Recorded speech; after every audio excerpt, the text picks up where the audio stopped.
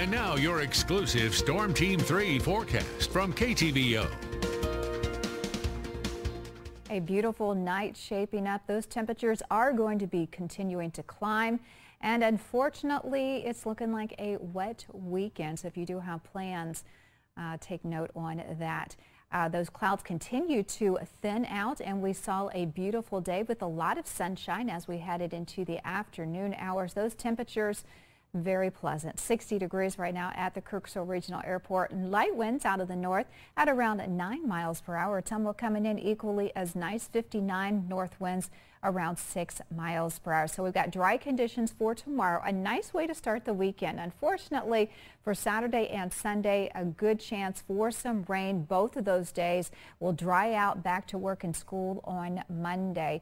Uh, but again, beautiful sunny day for tomorrow. Those clouds will continue to build back in late tomorrow night.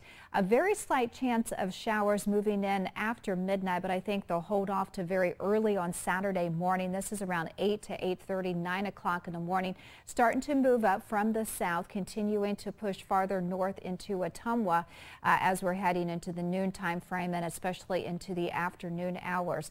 Uh, that will continue into Sunday as well. Those temperatures a little bit cooler starting to things out on your Friday morning and not what we've had the last few uh, mornings.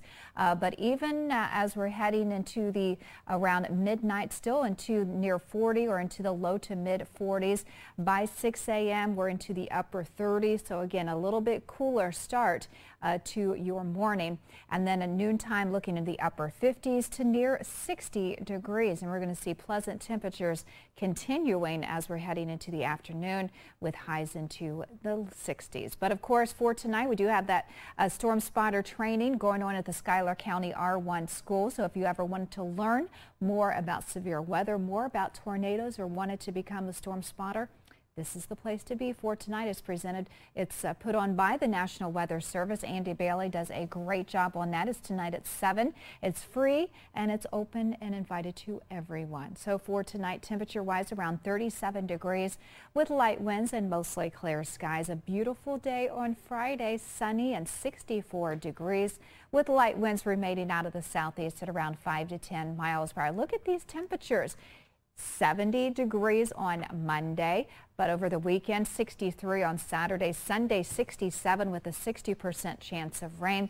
It'll be out of here by Monday, 70 degrees though. Tuesday another round pushes in, but temperature still 71 degrees. Overnight lows in the 40s and low 50s. Of course, anytime check us out 24-7 at ktvo.com loving, loving these temperatures. Mm -hmm. Very, very nice. Of course, the, the, rain will be out of here by Monday. Of course, I'm, so, you know, I'm sorry. I think some of our weekend crew around here have that figured out, don't they? Oh, yeah, but, you know, okay. we'll take the good with the bad. We will. The, the we good, will. though, is those temperatures. That's right. That's yes. right. No surprise March dare I say it, I won't, that word that can happen sometimes in March. Not, it won't happen at no, 67. No, we're, we're not saying that. Yeah, we're not. We're, we're not. not. We like that. the rain. Yes, we do. Okay, thanks, Teresa. We'll be right back.